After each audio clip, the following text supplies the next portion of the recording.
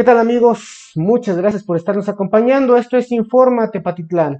Tu amigo y servidor Mariano González en los micrófonos y producción de este programa, este espacio informativo. Hoy llevamos ya esta primera entrevista en este espacio. Tú ya nos conoces, ya hemos tenido nuestros cortes de información y pues bueno, agradecemos mucho al maestro Armando Preciado, quien es director de eh, justamente del gobierno municipal de Tepatitlán, que nos esté acompañando. Gracias, maestro, gracias por estar con nosotros. Un tema bastante importante, un tema bastante importante, el que hoy tratamos, si es que ya llegan eh, la toma de tallas para Recrea eh, Educando para la Vida, justamente, si nos puede ampliar un poquito la información en esto. Sí, claro, claro que sí, agradeciendo pues la oportunidad de que también por este medio llegue la información a los padres de familia, que son finalmente los beneficiarios junto con los alumnos, sus hijos de las escuelas públicas de nuestro municipio. Eh, de comentar que tenemos 268 escuelas registradas entre preescolar, primaria y secundaria, las que inician en esta ocasión con una información recibida directamente del secretario de Educación a la estructura educativa, esto es jefes de sector, supervisores, directores de los planteles, en donde nosotros a partir del día 2 de, febrero entregamos a, todos, a todos los 268 eh, directores de escuelas o directores encargados a través de la estructura educativa, la clave y contraseña que nos llega en un sobre para, para que cada uno de ellos empiece a captar datos de sus alumnos, que eh, pues lo importante es el, número para, el número de alumnos para conocer el número de mochilas con útiles que se van a necesitar por nivel, pero también muy importante las tallas de, los zapatos y de los uniformes en donde se les eh, está recordando a los padres de familia que este material sería utilizado en el siguiente ciclo escolar 21-22 para que consideren eh, las tallas pues que, pudieran, calculándole que pudieran ser útiles para, para los alumnos. Comentar que en esta primera etapa, igual que años anteriores, en esta primera etapa se contemplan a los alumnos que están en este momento inscritos en, los planteles escolares y que sumarían alrededor de 18 mil en nuestras escuelas, en donde tendríamos una segunda etapa una vez que, inicie el siguiente ciclo escolar, ah, que inicie al menos con la asignación de de, alumnos a cada escuela, dependiendo de los grupos y la capacidad que se tenga, en donde se está considerando un estimado de alrededor de, de 6 mil alumnos para llegar a 24, 25 mil. Ahorita es, es, importante que del día 2 de febrero hasta el 19, que todavía tenemos tiempo, 19 de febrero, los padres de familia por la vía, por el conducto que tienen comunicación con sus maestros, con los maestros de sus hijos o con los directivos, hagan llegar estos datos para que ellos a su vez puedan subir a la plataforma y en este mismo mes de febrero cerrar la captura y la, y la, para empezar la confección de tanto de zapatos como de uniformes. Profe, importante, estamos en tiempos de COVID, eh, los muchachos eh, pues no están acudiendo a clases, sin embargo esto influiría en la entrega de apoyos o en esta entrega de útiles mochilas y zapatos para los alumnos? En la entrega no creo, porque recordarte que ya en este pasado 2020 ya teníamos el problema y bueno, los hicimos llegar en, el caso de la segunda etapa a, través de los directivos de escuela. En la primera etapa eh, nos dimos a la tarea de programar y de organizar las entregas por escuelas en lo que es la ciudad y este, tratando de espaciar y que no tuviéramos aglomeración de, personas. En el caso de las delegaciones lo hicimos en la propia delegación y, bueno, creo que hasta fue más ágil y más, eh, más eh, rápido que, otros años aún teniendo la emergencia sanitaria. En el próximo año estas entregas andarían siendo por allá en mayo, considerando que, las administraciones municipales cierran en septiembre para poder alcanzar a, este, hacer la, la entrega de la comprobación en este caso al Estado. Y buen punto que comentas, Mariano, porque la recomendación de la Secretaría de Educación de la autoridad es que los datos no se entreguen de manera presencial. Eh, se están entregando de manera virtual. La mayoría de los directores que me he enterado hacen su formulario, lo envían por WhatsApp, lo envían por correo o de alguna manera que ellos se comunican con los padres de familia de sus alumnos para que hagan llegar estos, estos datos. Eh, me parece muy importante porque eh, no deja de haber en, las escuelas, unas más y otras menos, alumnos o padres de familia que, que, este, que no se les encuentra por ninguna de estas vías y pues eh, ir a buscarlo sería, aparte de, de complicado, riesgoso también, porque lo primero que tenemos que preservar es la salud. Importante preguntarle, profe, en el tema también de la conectividad. Sabemos que hay muchas familias que lamentablemente no cuentan con los recursos tecnológicos ni con el Internet. Y pues a pesar de que este es un canal virtual, pues la, la voz también se riega, es la, idea. Para todos aquellos que no tengan Internet, ¿cuál es la propuesta o cuál es eh, la solución a esta problemática? Sí, en las escuelas están organizados de tal manera para poderlos atender también ahí, ya sea con una con este formulario escrito en un papel impreso y que también lo pueden entregar solamente cuidando la, la este, el, no, la sana distancia y el usar lo que la recomendación de salud está vigente.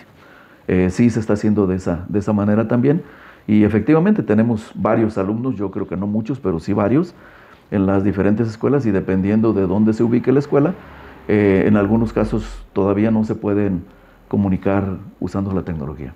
Importante entonces eh, mencionar, profe, entonces la tecnología pues serviría, pero para quienes lo tengan, pero para quienes no, entonces tienen ya sus propias herramientas. Es comunicarse con, con, su escuela, con su director o con su maestro, para que sepan los horarios de atención que están teniendo en cada uno de los planteles. Importante entonces, eh, ¿cuánto, ¿cuánto, tiempo, ¿cuánto tiempo espera eh, que puedan llegar esos apoyos? ¿En cuánto tiempo cree que se puedan llegar a dar estos apoyos? está anunciado para el mes de mayo. Para el mes de mayo. Y entonces, para el tema de los nuevos ingresos, ¿qué pasará con ellos? Los nuevos ingresos se entrarían en la segunda etapa en cuanto tengan, o sea, ahorita en este momento no sabemos quiénes van a llegar a las escuelas hasta que se preinscriban. En el caso de las poblaciones donde hay solamente una escuela de determinado nivel, pues es de suponer que el alumno del preescolar va a llegar a esa primaria y a esa secundaria si hay solamente una. Pero en el caso de la ciudad, que tenemos eh, una buena diversidad de, número de planteles de los tres niveles, pues necesitamos esperar que ahorita, precisamente en el mes de febrero, que también son las preinscripciones, pero son eso, preinscripciones. Eso no me da seguridad de que si yo solicité en tal escuela, mi, alumno, mi hijo vaya a estar en esa escuela. Una vez que se publiquen por allá eh, las listas de, de, aceptados en cada una de las escuelas, es cuando se empezarían a captar los datos para los alumnos en la segunda etapa. ¿Quiénes integran la segunda etapa? Los alumnos nuevos en preescolar, en el siguiente ciclo escolar, los alumnos a primero de primaria y los alumnos a primero de secundaria, que una vez eh, teniendo pues la, asignación de escuela, se toman los datos, se suben a la plataforma y deberían de estar eh, un mes más en su poder.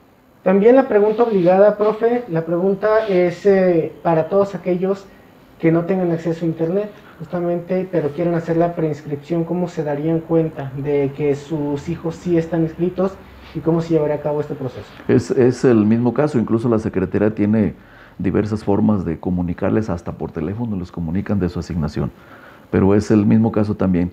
La recomendación es que se haga de manera virtual el registro, pero para quienes no puedan, también en las escuelas les están apoyando para que, para que hagan este, el registro de manera en una papeleta física, eh, eh, pasar los datos. Me consta que he visto en varias escuelas en donde el director y alguien que auxilia al director está recibiendo los datos y ellos mismos en su propio equipo de la escuela suben el registro a la plataforma.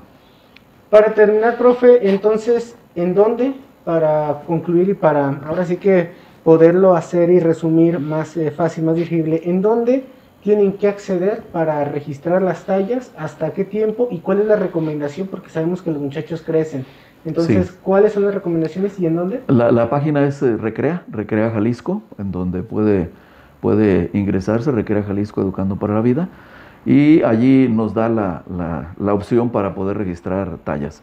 También hay un formato que genera el formulario, y, este, y en ese formato se pueden anotar los datos y llevarlos a la escuela con el maestro quien, quien esté atendiendo esta, esta situación.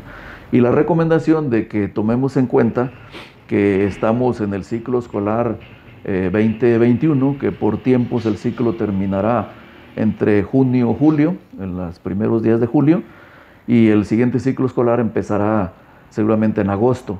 Entonces este, estos uniformes serán, para, eh, serán dedicados para usarlos en el ciclo escolar que empezaría en agosto, que estamos hablando de 7, 8 meses, considerar más o menos ese, ese posible este, desarrollo de cada uno de los muchachos para que sea una talla más de zapatos, una talla más de, de, uniforme seguramente para que cumpla eh, más tiempo su función. La pregunta obligada, profe, ¿regreso a clases presenciales próximo o qué va a pasar en este caso? Es una, es una, buena, es una buena pregunta, ¿no? Eh, pero creo que mientras estemos en estas condiciones de, de contagios y de salud, eh, no, es, no es conveniente. También eh, no he escuchado en alguna parte comentar mucho, pero también tenemos que pensar en que entre los maestros que trabajan atendiendo a los hijos, también hay personas vulnerables, también hay personas que, que por edad este, serían altamente vulnerables y creo que es un compromiso que tiene que cuidar mucho el gobierno, en este caso la Secretaría de Educación, para poder atender a los muchachos y atenderlos de la mejor manera y cuidando, eh, teniendo las, las, óptimas condiciones de, de salud y evitar mayores problemas. Hasta ahorita la información que tiene es, ¿seguimos en línea? Seguimos en línea. ¿Y, sería regresar así el próximo ciclo hasta lo que evitan las cosas ahorita? si me preguntaras a mí, yo diría que el siguiente ciclo, pero bueno, creo que eh, marzo, abril puede ser también pensando en, en, el tiempo, en los climas, puede ser apropiado para que siga dándose menos, menos contagios. Eh, mira, muchos papás, sobre todo papás o los niños, quieren regresar a la escuela de manera presencial, pero hay algo otros que, que aprovecharon estos tiempos y en donde apresuradamente tuvimos que entrar a situaciones que nunca hubiéramos imaginado, el uso de la tecnología, y, y, están contentos con el uso de la tecnología, pero siempre y cuando se tenga, donde no se tiene, pues también esto, esto complica más la situación. Profe Armando Preciado, muchas gracias por estar con nosotros y pues bueno, por darnos a conocer esta información tan valiosa. Muchas gracias, Mariano, a sus órdenes. Gracias y gracias a usted. Recordarle que este es Informa Tepatitlán, estaremos llevando así más notas interesantes, más información y pues eh, hay que pasar la voz a quienes no tienen las, los medios y la forma para enterarse. Próximamente ya está de hecho tomándose las tallas para el programa Recreo Educando para la Vida. Esto es Informa Tepatitlán. Gracias por estar con nosotros y nos vemos en la próxima emisión.